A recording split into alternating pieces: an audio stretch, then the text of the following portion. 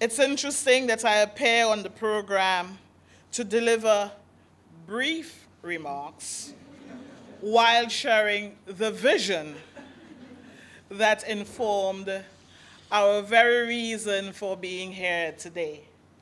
So I shall endeavor to do as instructed.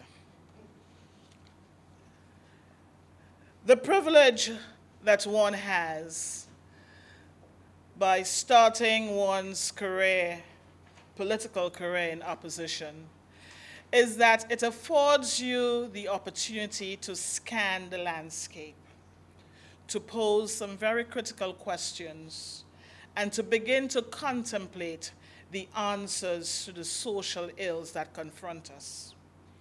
It is that kind of observation, introspection, questioning, and brainstorming that informed much of what you see represented in what today is the policy of the government of St. Lucia, but a little under two years ago would have been referred very simply as the Manifesto of the United Workers' Party. As I continue to remind my colleagues, up until midnight on the 6th of June 2016, it was just that, the Manifesto of the United Workers' Party. When the sun would have come up on the following morning, St. Lucia would have before it the policy statement of the new administration. For those of us who have yet to comb those pages, permit me to reference some of the policy statements that we have made therein.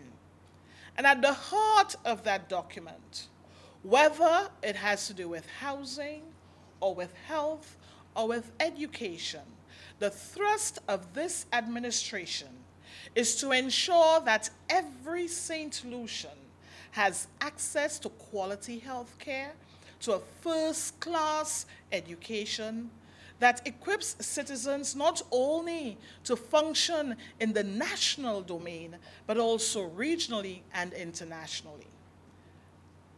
Permit me to focus more exclusively on education. We know all too well that education in St. Lucia, for a very long time, has been the preserve of the rich and the wealthy. And I've always argued and lamented the fact that education in St. Lucia is too elitist. That you and I know of scores, maybe hundreds of very talented St. Lucians who have been relegated to the sidelines of our economy because they could not afford a proper education. My administration, this government, this Minister of Education is committed to delivering an education to every citizen, regardless of his or her socioeconomic condition. That, I must confess, is what drives me every morning. That I know is the energy that informs much of what my other colleagues do in their respective spheres. So how do we cure the elitism in education? How do we ensure that those who perhaps missed that opportunity between the age of 5 and 16 can be given a second chance? How do we ensure that the residents of Micoud, Pierrot, Delsey, or Fort Jacques are not disadvantaged because of their geographic location and that they too can access Sir Arthur Lewis Community College? How do we ensure that talented children from families where no one has had the benefit of tertiary education, a university degree, can be given that opportunity?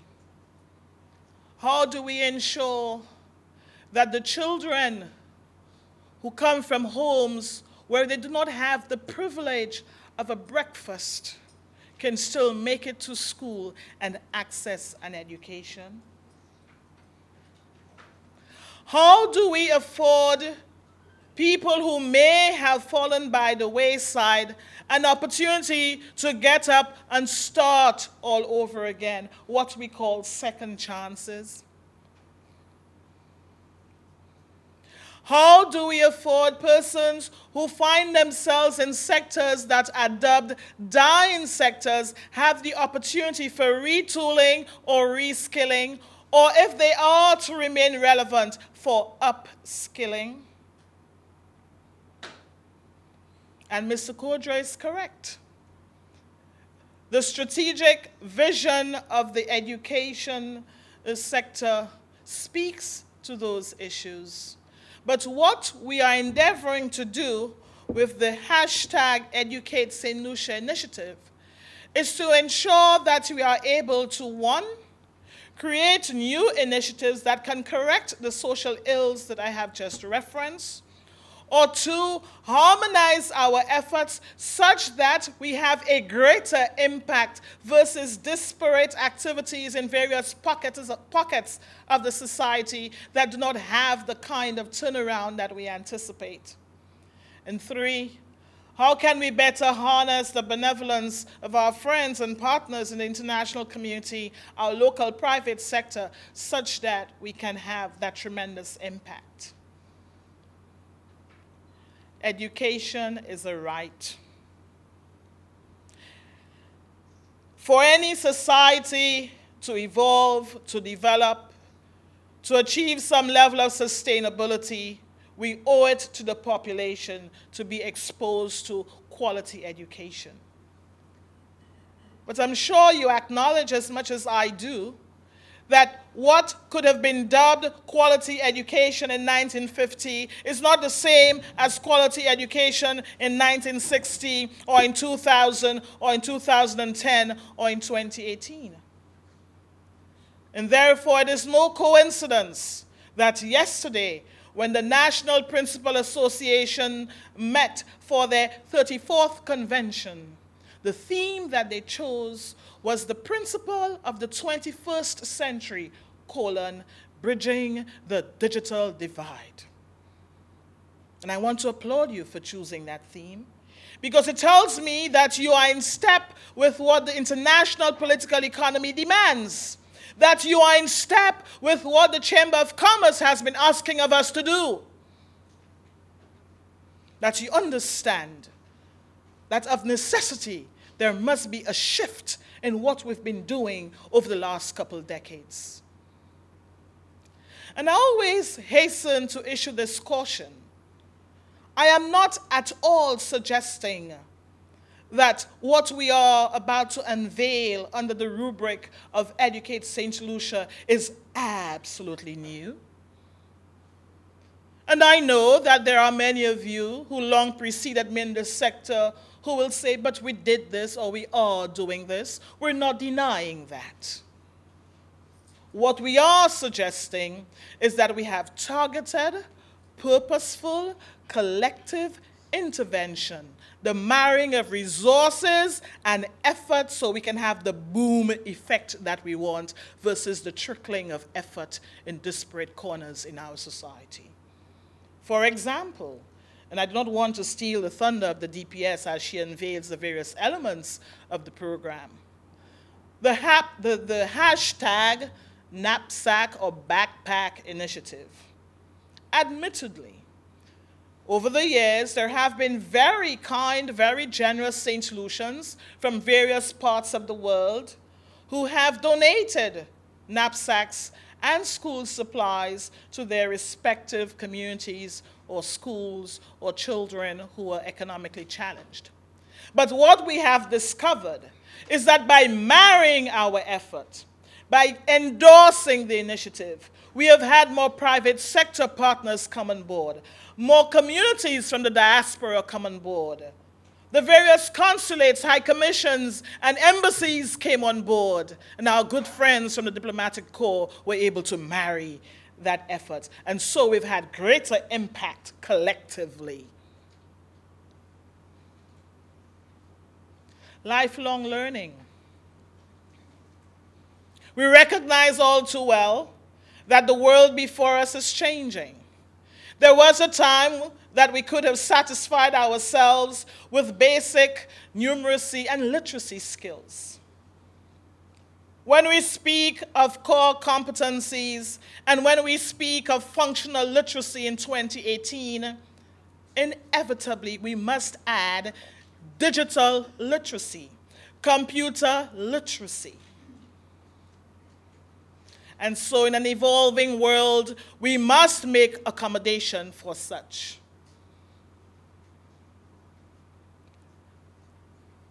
We lament that there are so many job opportunities for artisans, masons, carpenters, tilers. And I imagine that we have some talent in land. And I want to commend Mr. Samuels and the TVET unit for the work that they have done in certifying these skilled persons. Because as the world evolves, and thanks to the various health and safety measures and insistence on compliance and standards, they too must be certified. And so I do not want to hear of another instance in St. Lucia where we have a major investment and the investor felt compelled to import labor. We owe it to our people to equip them such that they are best positioned that when those opportunities do arise, that they can access those opportunities. And that is why I really must thank the Prime Minister and my colleagues from Cabinet for conceptualizing the hospitality and tourism program, the construction program, and the wellness program that we will soon launch with a view to ensuring that persons in these sectors are well equipped and certified such that we can enhance their employability. Only a couple of days ago, you would have learned of a call from the BVI for tradesmen to come and help with the rehabilitation of the hurricane-torn countries. And Mr. Samuels, I'm hoping that our St. Lucians who will offer themselves to go to the BVI are equipped with that CVQ. So we have a responsibility to give every St. Lucian a chance, whatever his or her God-given ability, that we partner with that St. Lucian so that we can give them the best opportunity to eke out a living for themselves and their families. Many of you have been wondering why the nomenclature innovation in our ministry.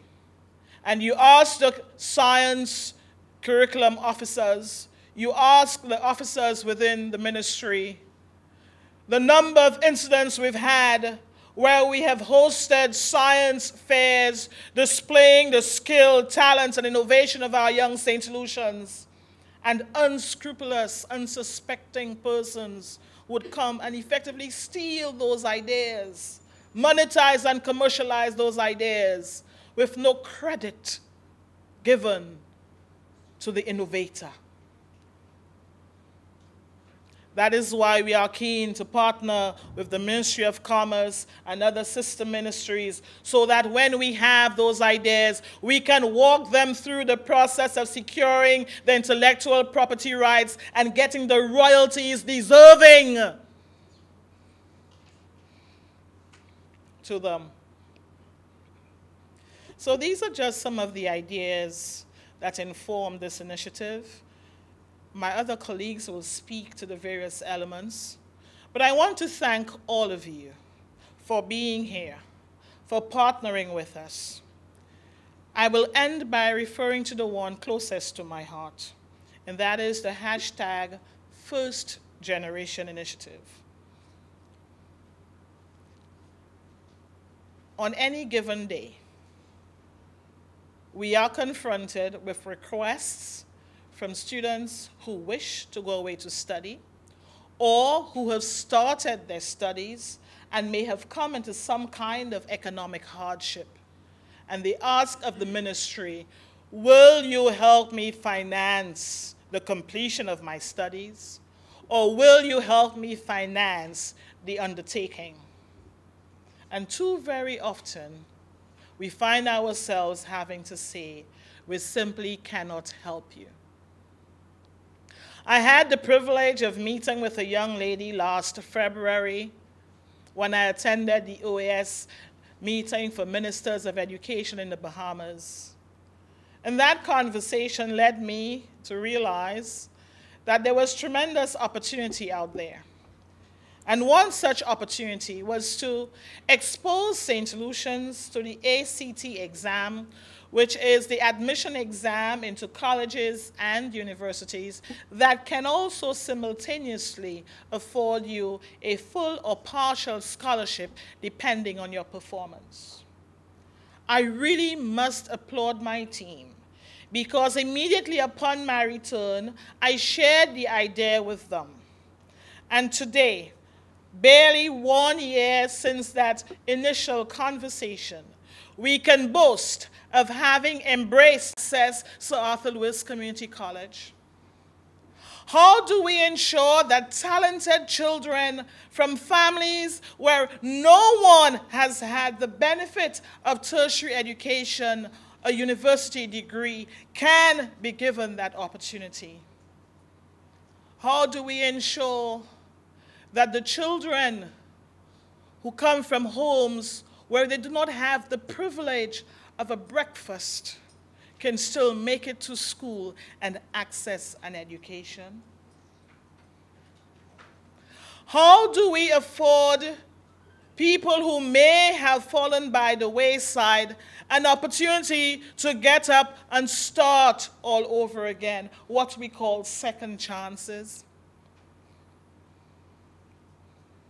How do we afford persons who find themselves in sectors that are dubbed dying sectors have the opportunity for retooling or reskilling, or if they are to remain relevant, for upskilling? And Mr. Kodra is correct. The strategic vision of the education sector speaks to those issues. But what we are endeavoring to do with the hashtag Educate St. Lucia initiative is to ensure that we are able to, one, create new initiatives that can correct the social ills that I have just referenced, or two, harmonize our efforts such that we have a greater impact versus disparate activities in various pockets, pockets of the society that do not have the kind of turnaround that we anticipate. And three, how can we better harness the benevolence of our friends and partners in the international community, our local private sector, such that we can have that tremendous impact? Education is a right. For any society to evolve, to develop, to achieve some level of sustainability, we owe it to the population to be exposed to quality education. But I'm sure you acknowledge as much as I do that what could have been dubbed quality education in 1950 is not the same as quality education in 1960 or in 2000 or in 2010 or in 2018. And therefore, it is no coincidence that yesterday, when the National Principal Association met for their 34th convention, the theme that they chose was the principal of the 21st century, colon, bridging the digital divide. And I want to applaud you for choosing that theme because it tells me that you are in step with what the international political economy demands, that you are in step with what the Chamber of Commerce has been asking of us to do, that you understand that of necessity there must be a shift in what we've been doing over the last couple decades. And I always hasten to issue this caution. I am not at all suggesting that what we are about to unveil under the rubric of Educate St. Lucia is absolutely new. And I know that there are many of you who long preceded me in this sector who will say, but we did this or we are doing this. We're not denying that. What we are suggesting is that we have targeted, purposeful, collective intervention, the marrying of resources and effort so we can have the boom effect that we want versus the trickling of effort in disparate corners in our society. For example, and I do not want to steal the thunder of the DPS as she unveils the various elements of the program. The, the, the hashtag knapsack or backpack initiative. Admittedly, over the years, there have been very kind, very generous St. Lucians from various parts of the world who have donated knapsacks and school supplies to their respective communities or schools or children who are economically challenged. But what we have discovered is that by marrying our effort, by endorsing the initiative, we have had more private sector partners come on board, more communities from the diaspora come on board, the various consulates, high commissions, and embassies came on board, and our good friends from the diplomatic corps were able to marry that effort. And so we've had greater impact collectively. Lifelong learning. We recognize all too well that the world before us is changing. There was a time that we could have satisfied ourselves with basic numeracy and literacy skills. When we speak of core competencies and when we speak of functional literacy in 2018, inevitably we must add digital literacy, computer literacy.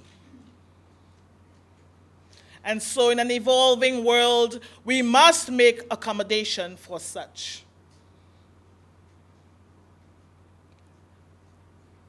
We lament that there are so many job opportunities for artisans, masons, carpenters, tilers. And I imagine that we have some talent in land. And I want to commend Mr. Samuels and the TVET unit for the work that they have done in certifying these skilled persons. Because as the world evolves, and thanks to the various health and safety measures and insistence on compliance and standards, they too must be certified. And so I do not want to hear of another instance in St. Lucia where we have a major investment and the investor felt compelled to import labor. We owe it to our people to equip them such that they are best positioned that when those opportunities do arise, that they can access those opportunities. And that is why I really must thank the Prime Minister and my colleagues from Cabinet for conceptualizing the hospitality and tourism program, the construction program, and the wellness program that we will soon launch with a view to ensuring that persons in these sectors are well equipped and certified such that we can enhance their employability.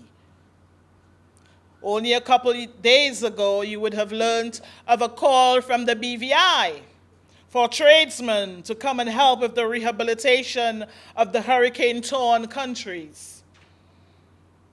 And Mr. Samuels, I'm hoping that our St. Lucians who will offer themselves to go to the BVI are equipped with that CVQ.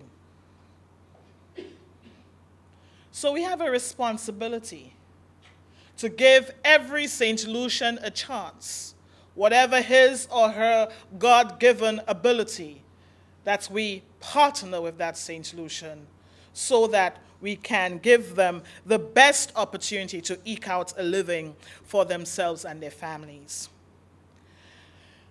Many of you have been wondering why the nomenclature innovation in our ministry.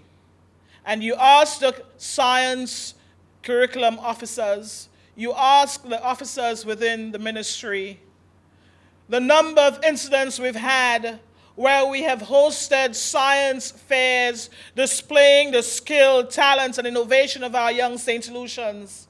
And unscrupulous, unsuspecting persons would come and effectively steal those ideas, monetize and commercialize those ideas with no credit given to the innovator.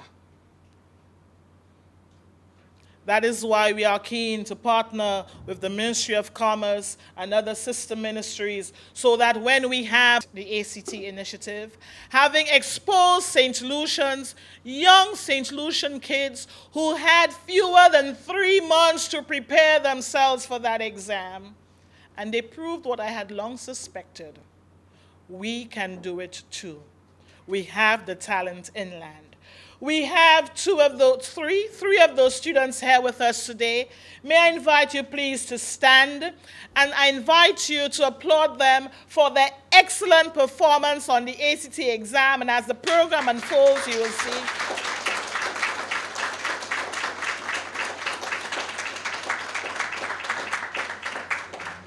Thank you.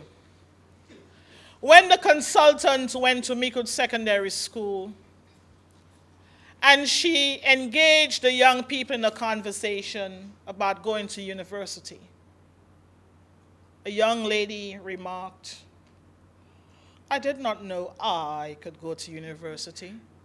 I am too poor to even think of going to university. That is what Educate St. Lucia endeavors to correct. I want also to reference some beautiful young ladies I met at Cave Hill last year when I delivered the Independence Day address to our students at Cave Hill, who walked up to me afterwards and said to me, Madam Minister, can you please grant us a favor? Can you undertake a college readiness initiative? Because many of my peers who do not know how to get to university. It is not even within their imagination that they too can get there. And I remember engaging my colleagues and thinking, it had never dawned on me that someone had to excite, had to introduce, and had to encourage young people to imagine that they can get to university. Because there's certain things we take for granted. And uh, I met this young lady recently and I thanked her because that said to me that this initiative is critical. And so we have embarked upon a college readiness program as well, whereby we engage school counselors, and I want to thank the school counselors for embracing this initiative. Too very often we think that school counselors only come in when there are problems to deal with. But the school counselors also offer career guidance. And it is with them that we have partnered so that they can make known to students the opportunities available to them for tertiary education. I can go on and on, but I'm guided by the word brief.